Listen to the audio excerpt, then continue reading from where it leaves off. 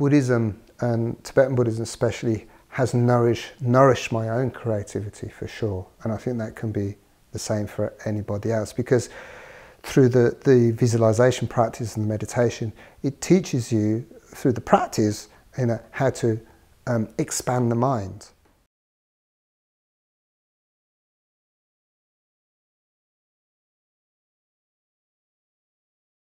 We're not just um, am led to believe that our mind is our brain in our head, you know.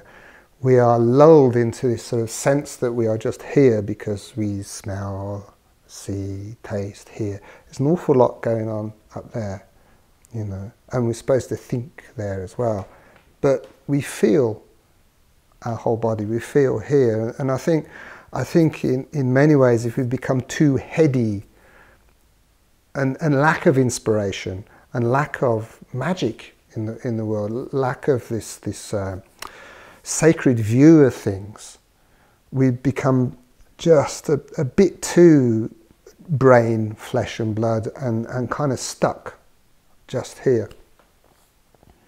But by doing the practice, I mean, for example, if we do Avalokiteshvara, Chenrezi practice, you know, we visualize ourselves as Chenrezi. But we don't have two arms, we have four arms. I mean, that's breaking the code straight away. You know, we have white skin. You know, that isn't that isn't even solid. You know, it's it's like rainbow light.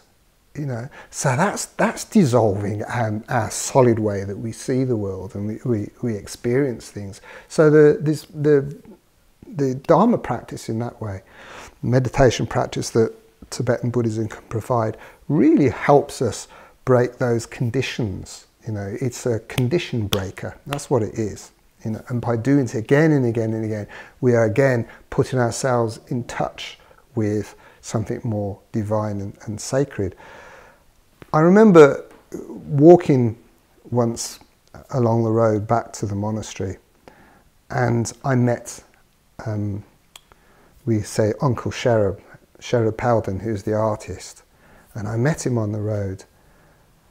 And um, it, was a, it was a bit of a dull day, it wasn't particularly inspiring.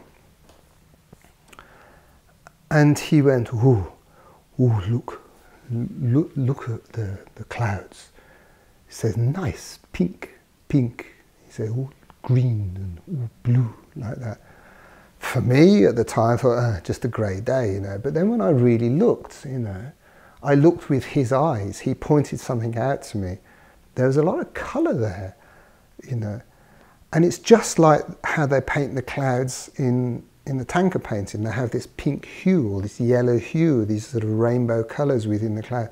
And that was his view. That's the way he saw the world. So he, he introduced me to that, this sacred view of, of things.